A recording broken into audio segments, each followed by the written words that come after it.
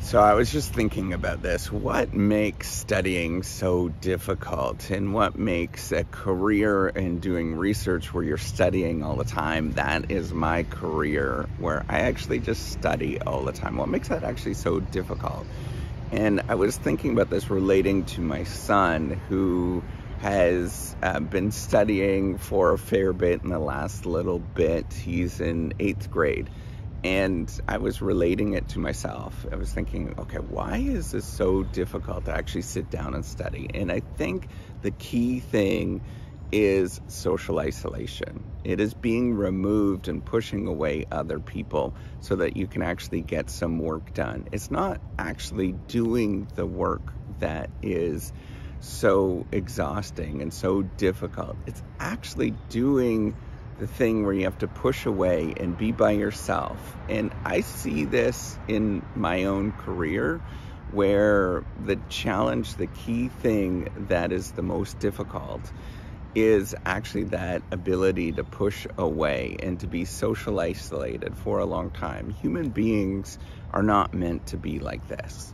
Human beings are very, very social creatures. If you go back in history in terms of how we were raised and what we do, we usually normally work in groups. We work in sort of, you know, tribes or clans or whatever, right? Like small groups, and we'd be always around each other. But in order to produce, in order to get more done, being socially isolated, which is a pretty um, recent phenomenon, I would say recent being in the last 500 years we've realized because of, of sort of what they used to do in monasteries, for example, where if you were socially isolated, you were able to produce a lot. And in that case, the idea was to do do that as a as a form of suffering right being isolated in a, in a monastery is a form of suffering which was a way to prove to god basically how um, committed you are and how good of a person that you actually are.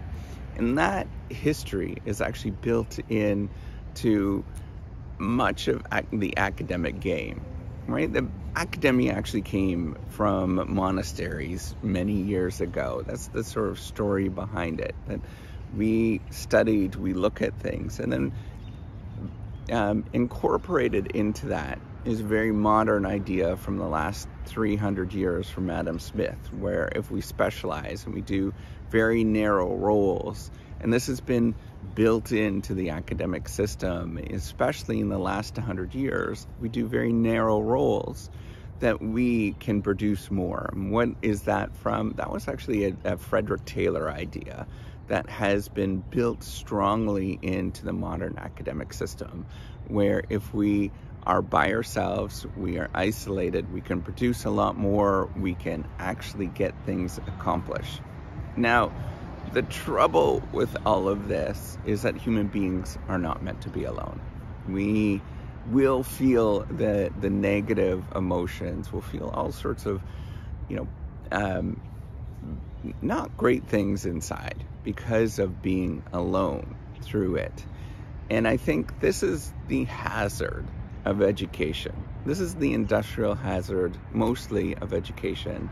And this is the prime reason, in my view, why people actually quit um, at various different stages of their life. When they realize that they have to be studying alone, doing it where they're working and pushing away family or you know, hanging out with friends, whatever, all of these kind of things that are, are innately human, that drives us to not feel good, right? And this only gets worse as you go through the career, by the way. It gets very, very much isolating and very much where you're by yourself and focused by yourself. Now, what I've been thinking about is that I do think we need to tra- change this.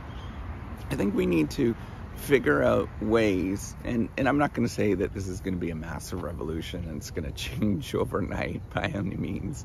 That's I'm not that um, you know not that silly but I do realize that this is not working right? Uh, the sort of industrial engine that we have doesn't quite work And if it did work, it would draw a lot of people and people would feel very excited to be part of it. So if it did work, right, it would feel like you're going to a theme park. That's how we know the theme parks work, because people are really excited to go to a theme park, right? So how do we get this? How do we build this in? I think we need to start working on building, um, in my view, is start start figuring out how to do community better or start figuring out how to find partners better um, that you can work alongside and, and start thinking about those kind of moments like that. I don't know what that looks like and I don't know what that feels like, but I think that that is very important part of the, the, the, the work that we actually do that is, that is, that, that will help us, right? So whether it's finding suitable people to work with in your study groups, for example. Um, you know, something like that is very important. And I just don't know what that looks like at this moment and how to actually change that.